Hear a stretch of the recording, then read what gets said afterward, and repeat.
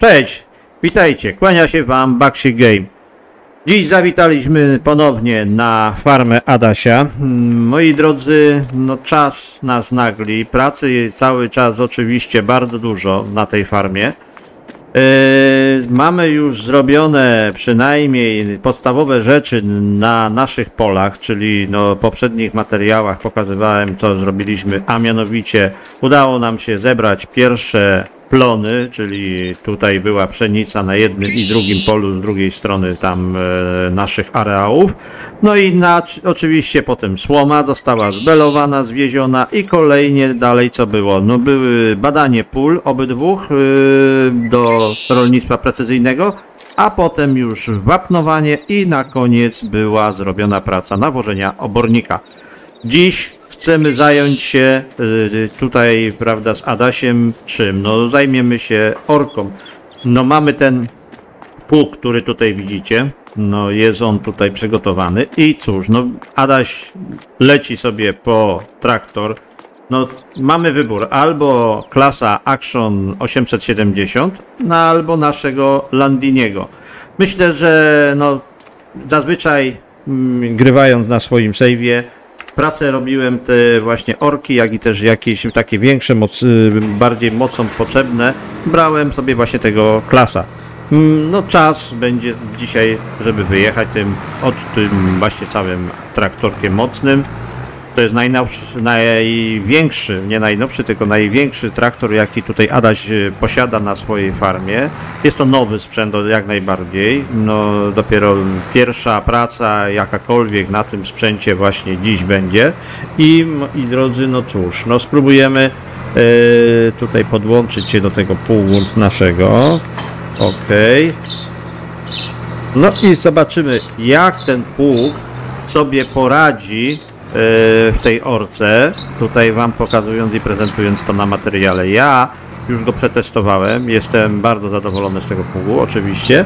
Ale no tak jak mówię, chciałem Wam tutaj coś pokazać innego, ciekawszego, jak i też nowego, żebyście sobie zobaczyli, jak fajnie można sobie e, troszkę urozmaicić ten gameplay, mając coś troszkę innego niż zazwyczaj tradycyjnie korzystamy z tych klasycznych, e, normalnych pługów. Wiadomo, że nie jest to pług realistyczny. No to tutaj jak najbardziej jest to w pełni. Ja jestem świadomy, a wam tutaj też nie będę opowiadał, że to jest prawdziwy pług, tak naprawdę wygląda. No raczej nie sądzę, żeby tak wyglądał, ale mówię, gameplay przez to nam będzie troszeczkę lepszy, jak i też no szybciej pewne prace będą nam postępowały tutaj na naszej e, farmie. Okej, zaczynamy.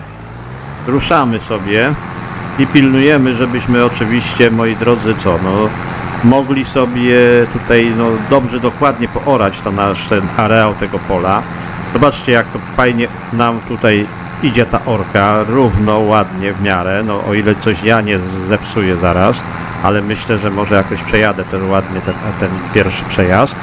No i co? No i widać jak ubywa nam pola. No 6 metrów tutaj mamy szerokości pracy tego pługu, no to jest kawał, prawda, przestrzeni na polu. Tym bardziej, że te pola, tak jak widzicie, no oczywiście nie są jakieś takie wielkie, obszarne, obszerne, przepraszam, to więc dlatego no ubyło, zobaczcie, za jeden przejazd mam już piękny od razu ilość ubytej, prawda, pracy.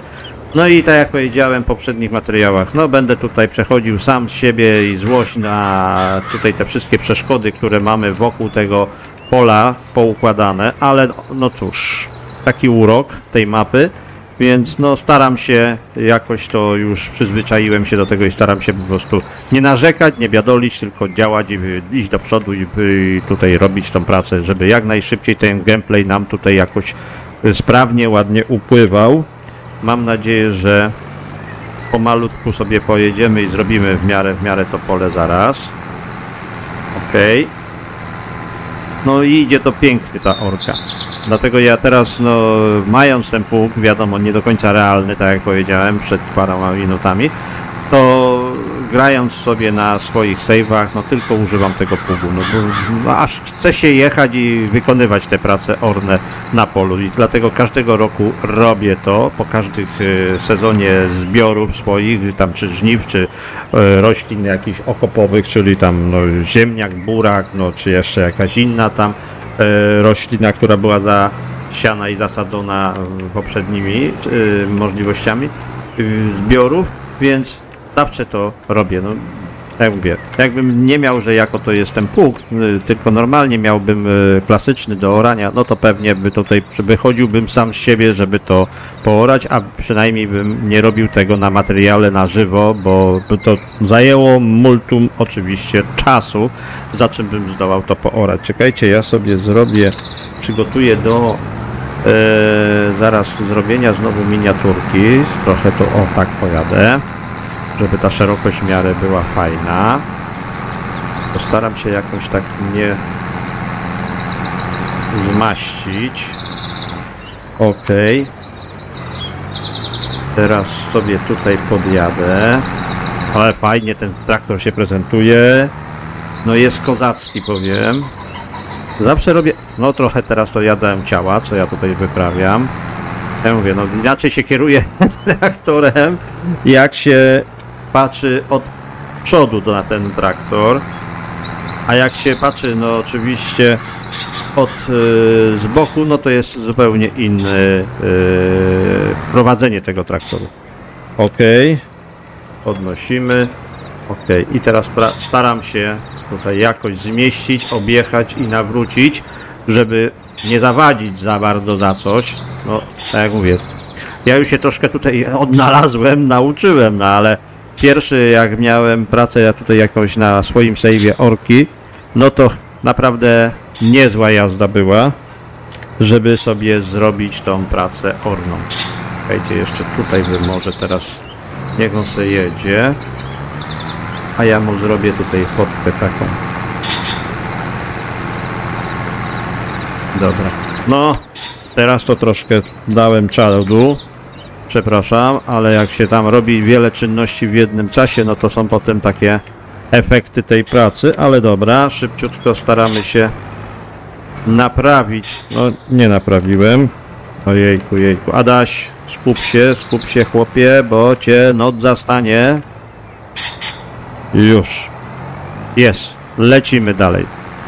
Miałem troszkę e, przerwy takiej krótkiej w nagrywaniu, bo robiłem czegoś, e, coś nowego bynajmniej szykowałem na e, nową serię, o, też akurat Farming Simulator, zupełnie nowa, inna troszkę seria będzie. Będę chciał prowadzić dwie lub trzy serie w jednym czasie. Dla niektórych no jest to może wyzwanie, może niepotrzebnie od razu tak idę na głęboką wodę, no ale ja po prostu to uwielbiam. Kocham to, żeby sobie tutaj urozmaicić ten gameplay no na jednej farmie, no to nie chcę się bardzo tak mocno skupiać tylko i wyłącznie będę, że będę prowadził tylko jeden y, materiał na jednej, prawda, sezon, na jednym gameplayu farmy. No chciałbym tak trzy chociaż prowadzić, żeby to miało sens i no i sobie tam zmieniać, że na przykład co y, drugi, trzeci dzień jest inny materiał, prawda? Zmieniają się tam te y, gameplaye na tych farmach. Albo na przykład no, będę myślał o jakichś live'ach, o ile no, będziecie sobie życzyli, mieli ochotę oglądać, jak też będziecie zainteresowani, to zapraszam jak najbardziej wtedy w komentarzach napiszcie, czy chcielibyście, żebym robił live'y i żeby jak najbardziej Wam tutaj ta, e, ten czas wspólnie razem tej gameplayu fajnie nam upływał to z przyjemnością mam na to możliwości czasowe. Spokojnie możemy to sobie dograć temat, kiedy byśmy sobie to ustalili wspólnie, żebyśmy robili te live'y, czy to e, wieczorami późnymi codziennie, czy to oczywiście w dany jakiś dzień na tygodniu, czy na weekendzie. No tak, żeby jakaś była forma między nami tej informacji, no i ja też, żebym sobie jakiś harmonogram sobie ustalił, w swoich normalnych obowiązkach, tak żebym jakoś wszystko miał to pod kontrolą. Ale tak jak mówię, to od Was tylko widzowie zależy. Zapraszam Was do komentowania i do łapkowania film pod każdym filmem, pod tym jak i też poprzednimi materiałami, żeby widział, że jesteście aktywni, że no, chcecie oglądać, interesuje Was ten gameplay. No i oczywiście no wtedy mnie to motywuje i daje więcej poweru, że jest dla kogo otworzyć te materiały, nie tylko sam dla siebie gram, tylko gram też z przyjemności dla Was, pokazując pewne nowe możliwości gameplayu na e, Farming Simulator. Ok, no już zobaczcie. Jeszcze tej z powrotem jej praca już będzie orki zrobiona. No i bardzo dobrze. I dlatego po prostu, tak jak mówię, ten pług na takie właśnie formy gameplayowe tutaj na YouTube jest mistrzostwo świata, no bo się wyjeżdża, robi czas, moment, prawda, zrobione, poorane i można nas zająć się kolejnymi pracami. No w tej chwili, w tym dzisiejszym materiale chcę właśnie zrobić tą orkę i co jeszcze? I chcę, moi drodzy, no, no nie wiem, zobaczymy na ile nam czas pozwoli. To może bym się zajął troszkę jeszcze przygotowaniem, yy, mianowicie przygotowaniem szklarni. Ale zobaczę, czy uda mi się to jeszcze czasowo dzisiaj ogarnąć, aczkolwiek może, bo widzę, że dość sprawnie nam ta orka na razie idzie odpukać, oby się nic nie zrobiło odmiennie, bo za bardzo chwalić jeszcze nie powinienem. Ale tak jak patrzcie, no ten traktor, no klas tutaj, no to, to on tutaj się nudzi ten, naprawdę tą mocą, bo on ma tutaj 280 bodajże chyba 6 koni, a ten pług, no według tam wykazu ma potrzebę 180 koni, czyli no ponad 100 koni mamy na datku mocy, żebyśmy oczywiście sobie robili tutaj e, tą orkę, mianowicie na tym materiale. I tutaj na tym polu przede wszystkim tak powinienem powiedzieć, a nie na mat- materiał jak materiał, no to teraz ja nagrywam, a orka, no to wiadomo, i jest tutaj właśnie na polu wykonywana. Okej, no obym zebrał, bo trochę tak smaściłem. E, uda się, dobra. Dobrze, super. No i zobaczcie, pięknie, równo, elegancko, skiby, wszystko. Aż chce się patrzeć. Naprawdę mistrzostwo. Mam wyłączone niszczenie plonów, dlatego no, te plony mogę tutaj przejechać, a tutaj po moich polach i się nic nie dzieje oczywiście z tymi e, zbiorami, prawda, z tymi roślinami, przede wszystkim, bo zbiory to dopiero będą później, ale z tymi roślinami, że nie są zniszczone, więc na obecnie, tak jak widzicie, mogę poprzejechać i się nic nie zniszczyło. Okej. O, sąsiad tutaj już widzę chyba zasiał, tak. Sąsiad zasiał. No to super. Ale mam chrapkę na to pole po lewej stronie na e, trawę tutaj. No ale cóż. Dużo by się chciało, ale oczywiście no trochę siana mało w kieszeni i tu jest problem. Bo jeśli bym miał jeszcze zasób finansowy, to pewnie bym pozwolił sobie i Adaś by pewnie kupił to pole. Ale no nie obecnie, na razie trzeba sobie zapomnieć. Myślę, że po pierwszym sezonie, po pierwszym roku w ogóle pracy na, tym, na tej farmie, powinno nam się ułożyć i powinien Adaś zakupić to pole, tą całą łąkę. No i teraz jedziemy na tym drugim polu, co tutaj też była pszenica. Tak jak mówię, jest pole nawiezione, zwapnowane najpierw, potem obornikiem nawiezione, a teraz zrobimy orkę. No i co? I będziemy się już musieli zastanawiać nad zasiewem też. No bo niestety, yy, czy chcemy, czy nie chcemy, czas nas nagli i musimy coś zasieć. Przynajmniej dzisiaj też możemy sobie szybciutko po tych pracy zobaczyć, co byśmy mogli posiać tutaj, przynajmniej, no bo mamy okres oczywiście sierpnia, no to możemy coś już jakieś tam pierwsze zasiewy zrobić, poczynić. No potem, no wiadomo, kolejne będą jeszcze wrzesień, październik, e, być mogły wykonane, ale tak jak powiedziałem, i już w sierpniu możemy chyba tam rzepak posiać, więc no sprawdzimy zaraz w tym systemie tego płodozmianu, bo mam ten mod taki do płodozmian, czyli co powoduje? Powoduje mi to, że widzę jakie były wcześniejsze oczywiście zasiewy na tym polu, no trochę źle, źle, źle, źle, przejechałem za daleko. Były wcześniejsze zasiewy i wtedy, moi drodzy, no mamy możliwość sobie już y, y, dobrania następnego tutaj zasiewu jakiegoś tam zboża, no czy oczywiście jakichś innych roślin okopowych, tak żebyśmy otóż, y, moi drodzy, no, mieli ten płodozmiany uwzględniony, no bo wtedy mamy, wykorzystujemy no, ponad 100% tej e, efektywności zbiorów, e, później plonów e, z pól naszych. Słuchajcie, jak tu zrobić? Pojadę może tam i to wezmę sobie, zacznę z tamtej strony. Przynajmniej. Wiem, że trochę się najeżdżę, ale no tak jak mówię, to pole jest takie, jakie jest, no z takim tutaj trochę no nie, niezbyt takim fajnym układem, ale no cóż, takie udało się kupić i działamy na tym, co mamy. Nie mamy co bardzo wybrzydzać. Przede wszystkim ważne, że jest dosyć, dosyć mocno dobra ziemia, jest i żyzne są te pola. No to to jest bardzo dużym atutem dla nas. Czekajcie, troszkę pojadę tak i tak i tak jeszcze raz muszę przejechać. To nie ma tutaj tak, żebyśmy to wszystko zabrali.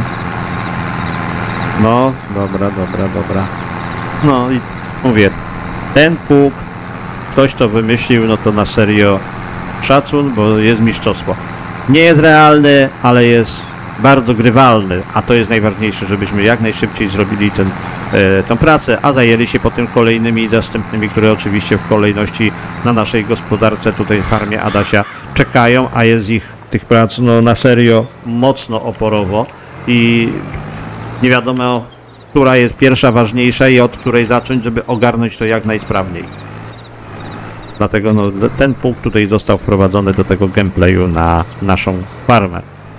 Dlatego na tych y, oczywiście mm, traktorach jakby były polskie jakieś, no to ten punkt by nie miał szans bycia, no bo niestety no polskie traktory no nie mają takiej mocy, żeby sobie poradziły z tym pługiem. No to jest, by musiał no pewnie na jakimś innym sprzęcie pracować, żeby tutaj zrobić też te prace orne na tych polach, jeśli bym grał takimi tylko polskimi traktorami. A tak mając tutaj no w tym przypadku tego klasa, no to jest całkiem inna historia. Adaś tutaj zainwestował w sprzęt, no i to bardzo dobrze zrobił, że zainwestował, bo to będzie miał kilka ładnych lat, czyli sezonów naszej e, gry. Sprzęt nowoczesny, mocny i bynajmniej może się rozwijać spokojnie, dokupując sobie z czasem kolejnych pól, bo ma na czym oczywiście pracować. No dobrze, podjedziemy tutaj jeszcze. Tu, tu, tu. tu. Okej. Potem akurat traktor klasa, no to jest wersja tak zwana Special Edition. No i on ma właśnie przyciemniane szyby, tak jak widzicie. No możemy sobie zrobić tutaj najazd. Zobaczcie jak ze środka fajnie ciemno widać, bo jest 45% przyciemnienia na szybach. No i wiadomo, taka wersja dość bogato wyposażona technologicznie w te wszystkie gadżety, e, no już tej nowej technologii pracy e, traktoru. No i moc tutaj jest dana taka nie najmniejsza, ani też nie największa. Taka bynajmniej optymalnie dobrana do potrzeb tu gameplayu, jak i też do potrzeb no, tych, tych areałów pól, jakie posiada Adaś.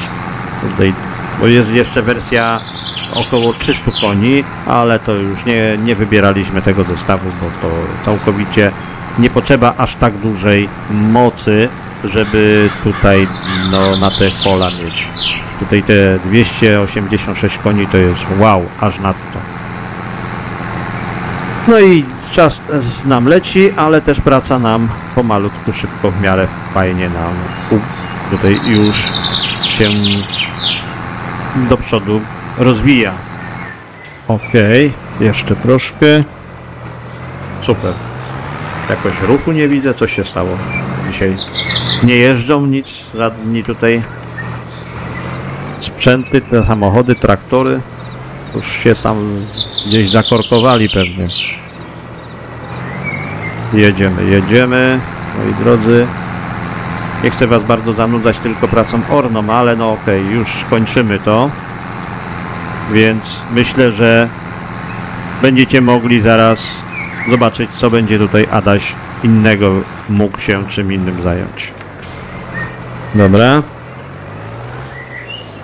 Super. I teraz spróbujemy to jakoś wykręcić, żeby sobie podjechać i tutaj jest jeszcze ul. No super, na serio. Co jeszcze tutaj nam się pojawi z tych dodatkowych przeszkód? No ale okej, dobra. W porządku. Opuszczamy i jedziemy.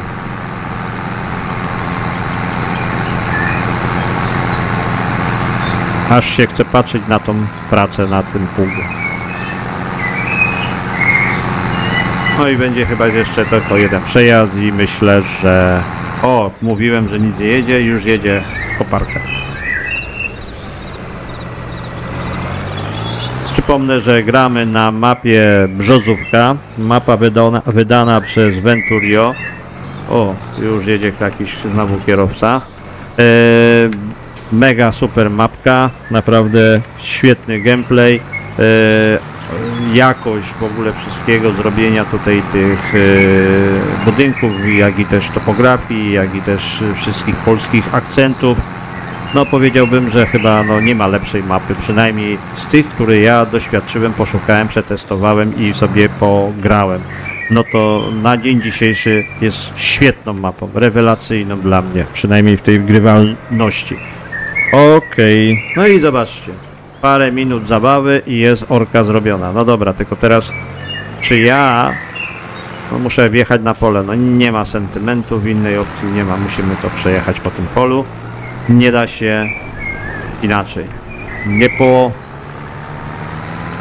sionym, nie posionym, tak jak tam właśnie na jednym filmie było e, na YouTubie wrzucone. Okej, e, jedziemy już do siebie, tutaj na farmę, Adaś już wraca. Praca orna jest zamknięta, przynajmniej po tych pierwszych yy, plonach i zbiorach, które tam były, prawda, w tym przypadku pszenica.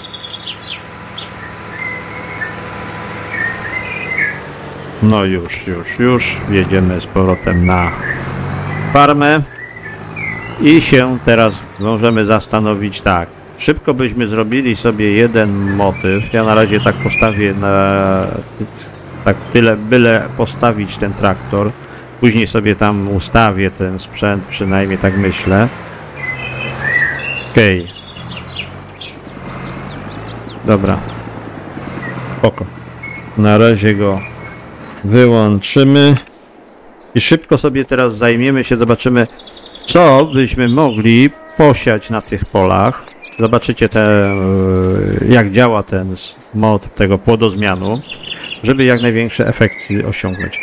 Tutaj była, były tak, zasiana, wcześniej były ziemniaki posadzone, a później zasiana była ta ostatnio pszenica. I teraz sobie wchodzę do mojego tutaj e, oczywiście e, zarządzania całą farmą i szukamy sobie, o, tej ikonki.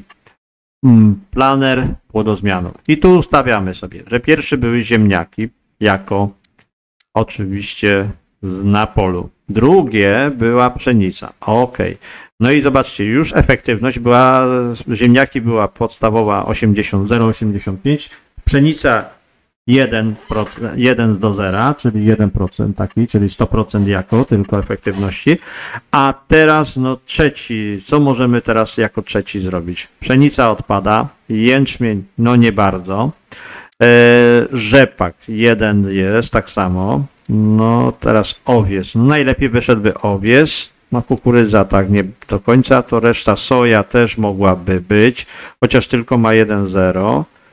E, ziemniaki odpadają, burak mógłby być. E, teraz bawełna odpada, sorgo no, mogła, ale nie musi. Trawa też. No to więc zostaje nam, moi drodzy, owiec. Jest 1,10. Najlepsza efektywność był, byłaby owsa. No i teraz tak, no co zrobimy? Zerkniemy sobie na kalendarz. Kalendarz mamy. Co możemy teraz posiać? Mamy sierpień. Akurat tutaj pokazuje nam połowę sierpnia. Możemy zasiać tylko i wyłącznie w tym miesiącu rzepak. We wrześniu możemy posiać pszenicę i jęczmień. No, jedno i drugie odpada. Rzepak mógłby być, ale no nie jest tak do końca e, dla nas tutaj pod względem efektywów e, zbiorów, no to ten rzepak Troszkę gorzej niż owies. A owies dopiero możemy zasiać, moi drodzy, marzec, kwiecień, czyli dopiero wiosenny zasiew. No ale teraz zerknijmy na co? Zerknijmy, moi drodzy, na e, efekty finansowe. No to nas interesuje. E, zróbmy sobie tak. Owies, owies, owies. Owies kosztuje e, obecnie po 6600, tak 600, 6000 nawet e, 768, ale teraz zobaczymy sobie, kiedy największy pułap cenowy osiąga. No styczeń, luty. W lutym jest najwięcej. 9,5 tysiąca ponad byśmy dostali za przetrzymanie owsa. Ale teraz sprawdźmy sobie rzepak. Rzepak grudzień, styczeń ponad 10 tysięcy byśmy dostali. No to wychodzi, że na rzepaku wyszlibyśmy lepiej. Bo mamy 10 840 z- byśmy dostali za rzepak w styczniu, jakbyśmy oczywiście już mieli go zebranego no i poczekali ze sprzedażą do stycznia. Więc hmm, mocno teraz możemy się zastanowić, czy siejemy tam rzepak, czy siejemy dopiero na wiosnę owies. No cenowo lepiej zarobimy na rzepaku. Aczkolwiek, okej. To teraz zobaczmy, bo teraz, no cóż, chodzi nam o kasę. No, nie, rzepak, no to będzie nasze zyski na potem, że potem będziemy mieli duże możliwości, żebyśmy coś tam sobie tych, sprzedając ten rzepak, czy to o, będzie owiec, no zależy co wybierzemy, no to za te pieniążki, żebyśmy się utrzymali tutaj i coś rozwijali i odkładali na jakieś inwestycje dalsze. Więc tutaj no tylko tymi kategoriami patrzymy. No też będę chciał siać tutaj, Adaś będzie przynajmniej tak powinienem mówić, że Adaś będzie chciał siać w ogóle inne jeszcze te e, rośliny, zboża, żeby mieć potem do, dla krówek i świnek. Co tu było? Burak cukrowy i pszenica. Zobaczmy sobie. To tu był ziemniak, burak cukrowy, pszenica, owies. Zobaczmy na ten rzepak. Jak to z tym rzepakiem jest? trzcina, bawełna, sorgo, topola, trawa. Z powrotem ugór, pszenica, jęczmień, no, mógłby być, już nie jest źle. Rzepak to samo jest. Rzepak jest to samo, 1 z, to 1,00, owiec 1,10. Czyli tak, trochę na ilości byśmy mieli więcej owsa, a w rzepaku mielibyśmy daleko trochę mniej ziarna w, potem w zbiorze, ale no cenowo byśmy wyszli troszkę może lepiej. Wiecie co? Ale znowu z rzepaku nie będę miał tyle słomy, co, po, z owsa. No i tu jest, bo jeszcze mi zostanie słoma. A słoma mi będzie potrzebna tutaj do później, no dla naszych krówek, świnek, no ewentualnie nawet można część jeszcze odsprzedać, jak będziemy mieli za dużo.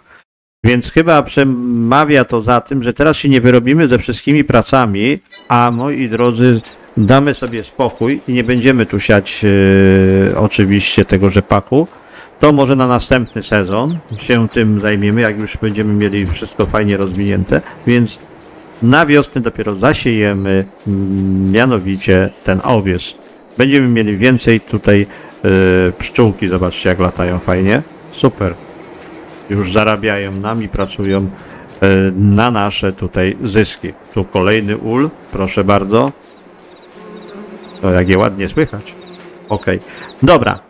To teraz szybciutko, żeby nie zanudzać, co byśmy zrobili? Zrobilibyśmy, wzięli sobie e, traktor, może, i zajęli się, gdzie ten traktor? O Jezu, tu jest. Zajęlibyśmy się, czekajcie, odpalamy go. Odczepimy. Ok. Odpalilibyśmy sobie, moi drodzy, może kilka szklarni chociaż.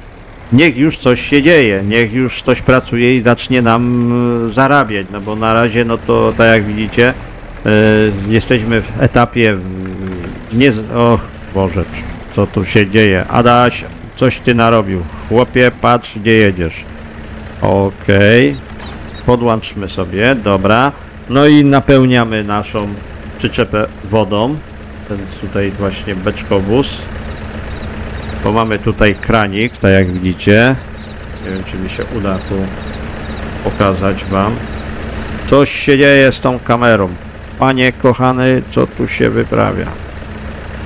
Próbuję na wszystkie sposoby, żeby się to jakoś ustabilizował obraz. Jest. No widać go tam oczywiście, ten kranik. Mamy 18 tysięcy litrów.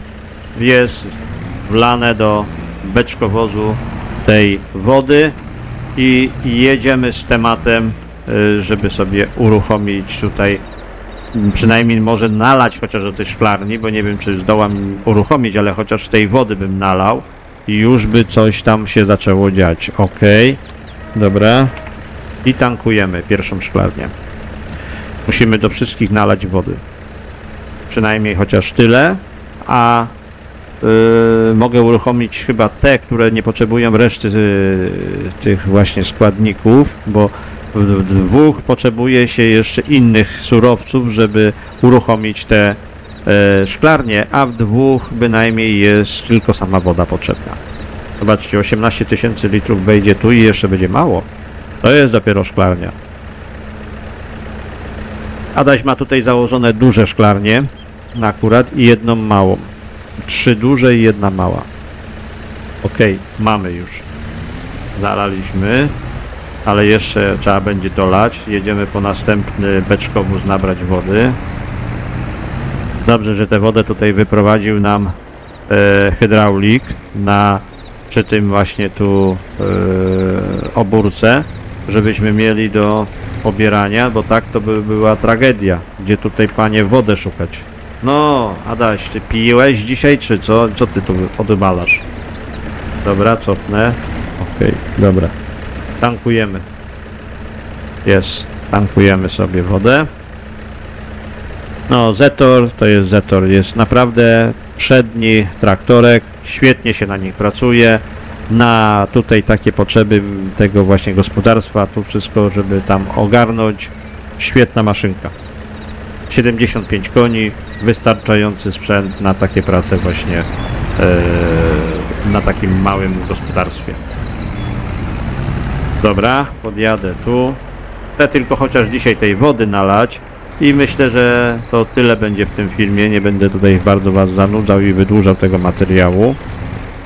Ale no tak przynajmniej ten filmik pokazałem jak właśnie tam prace orne były, a teraz no takie już przygotowawcze, już 2000 tylko jeszcze weszło. Już mamy pełną wody tą szklarnię. Czekajcie, o teraz tak. I lejemy tutaj wodę. Bo tej musimy te szklarnię uruchomić jeszcze teraz i co jeszcze byśmy chcieli uruchomić? No może kurki, potem świnki i krówki. O ile nam wystarczy na wszystko środków finansowych, no i czasu, żeby to wszystko uruchomić, dostarczyć i ogarnąć. No to będzie niezła jazda. No dobra, trochę do tyłu i teraz spróbuję tu się wykręcić. Dobrze, że ten Zetor ma super skręt. To jest jego dobrym plusem. I serio naprawdę daje radę tutaj sobie nawracać. Dobrze, podjeżdżamy po trzeci już beczkowóz z wodą. No tutaj patrzymy, żebyśmy znowu nie uderzyli w drzwi. Ok. I napełniamy się. Woda już nam się napełnia. I super. No, Adaś ma tutaj na razie pełną pepę i chęci do pracy, więc no niech tutaj chłop się wykaże. Już, już. Okej, mamy. Zalałem cały zbiornik wody. Jedziemy sobie uzupełnić tamtą drugą szklarnię wodą.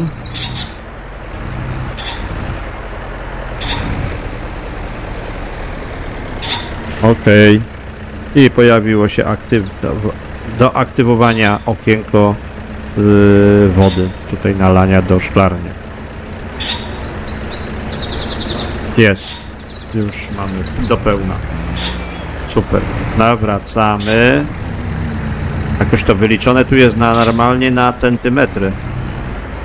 Zawracamy, zawracamy i jedziemy tu. No tu będzie fajne podjechanie. Okej, okej. No dobra, złapało mnie. W porządku.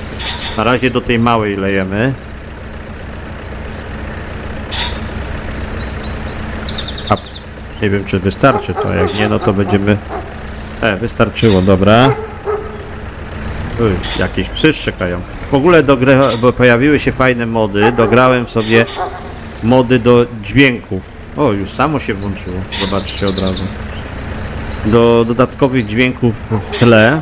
No i to działa, widzę, że na wszystkie e, mapy, nie tylko, bo tam pisało, że to działa tylko na europejskie mapy, prawda, jak korzystamy. Czyli myślałem, że Polski nie będzie uwzględniało, tylko no jakichś tych krajów europejskich, e, ale no wiadomo, Polska jest w Europie, więc no miłe zaskoczenie jak najbardziej, że te dźwięki też działają na polskich mapach. Nie sprawdzałem to na innych mapach gdzieś tam po z innych kontynentów, ale tak jak mówię, no na razie odpaliłem to tutaj i te dźwięki są świetne. Dodatkowe właśnie efekty jakieś y, tam ćwierkania ptaszków, dodatkowe e, przelotów samolotów, e, no czy no gdzieś tam jakieś szczekanie psów, no ujadanie, no takie, no naprawdę urozmaicenie realizmu, pokazanie w tym gameplayu na każdej z map europejskich akurat tutaj, jakie mamy do dyspozycji. No super, podjechać jeszcze chcę, żeby dolać tej wody do tej ostatniej farmy. No i co Adaś? Aleś dał ciała, chłopie. O, wyrobisz się? Dobra. Okej, okej, okej, okej. No Adaś, gdzie ty tam jeździsz po tym? Ehm, tu. Tutaj lejemy. No i do tej właśnie szklarni też trzeba będzie przywieźć inne mm, surowce, żeby ona uruchomiona została. Nie tylko sama woda jest potrzebna, bo i potrzebne są inne surowce. Ale no to myślę, że pokażę Wam to już na yy, kolejnym materiale, jak będziemy uruchamiali te szklarnie, a dziś no to przynajmniej odpaliliśmy, odpaliliśmy nic, nie odpaliliśmy, tylko no zalaliśmy te szklarnie wodą po to, żeby już były przygotowane do dalszych efektów uruchomienia. Zobaczcie, wejdzie cały beczkowóz, 18 tysięcy litrów wody i jeszcze nie jest pełne. No trudno, jedziemy jeszcze po jeden zbiornik. Dlatego dobrze, że Adaś wybrał sobie ten beczkowóz, bo ma duży objętość wody, mieści się w nim. Bo jakbyśmy wybrali tutaj coś mniejszego, to byśmy tu jeździli i jeździli, żeby to uzupełnić.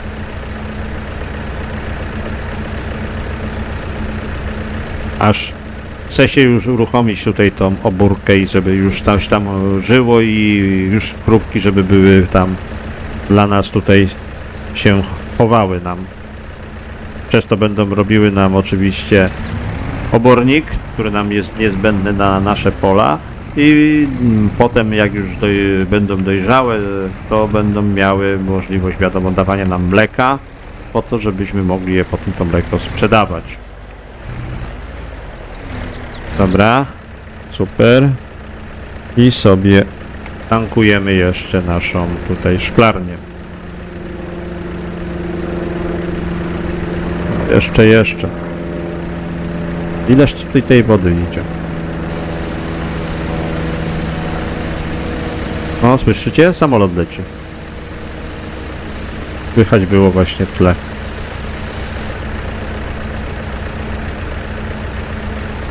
Ja cię sunę. Chyba cały beczkowóz będzie. Nie, zostało. Wow, serio? Dużo wyszło tej wody tutaj. No ale taka jest szklarnia, taki jej urok. Wiadomo, że to jest modowana szklarnia, nie ta z podstawki gry, dlatego ma dużo więcej możliwości i tam e, większą wydajność ma, ale no dlatego tutaj ją została zainstalowana, żeby no, urozmaiciła tak gameplay, który tutaj mamy na tej farmie. Czekajcie, odczepię się. porządku. No i dobra, no i mamy już tak przynajmniej te prace załatwione. E, I co jeszcze? No i tyle chyba na dzisiaj. Stoi, wszystko czeka, no kury, nie kury, no Boże, jak popatrzę na to, to aż nie wiem co pierwsze się da teraz następne brać, ale no dobra. Ważne, że mamy, moi drodzy, tutaj... E, aha, nie zgasiłem traktoru, serio? Adaś, co ty odwalasz? Okej, dobra, teraz wyszliśmy.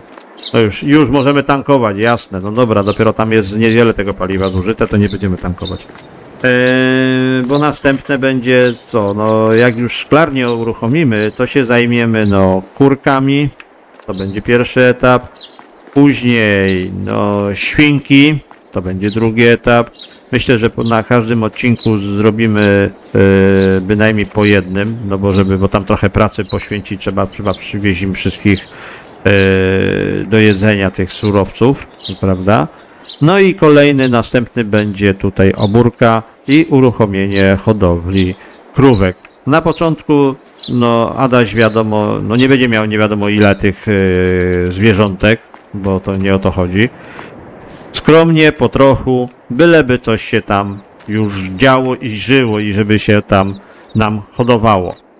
Więc mianowicie w następnym materiale kończymy szklarnię, uruchomienie i wystartujemy już z kolejnymi pracami na naszej farmie. Więc dziś kolejny krok pracy poszedł do przodu, mianowicie pooraliśmy pola, te dwa, które już zostały tam przygotowane do tych właśnie pracy, czyli ornej. No i co zrobiliśmy? Zrobiliśmy, zalaliśmy wodę do naszych czterech szklarni, w sumie trzech i jednej małej. No ale już jakiś gameplay poszedł do przodu.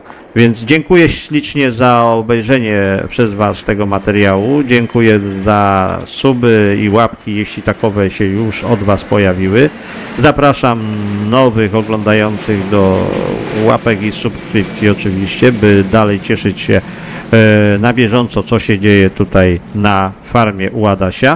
Jak i też oczywiście no, patrzeć co, jakie będą inne serie się pojawiały na nasz tutaj kanale Baksik Game. A tu żegnamy się z farmą Adasia i w następnym materiale, myślę już yy, że niebawem, będzie dalsza praca tutaj na tej farmie. Pozdrawiam serdecznie, Adaś też Was gorąco pozdrawia. Trzymajcie się, na razie. Hej, hej!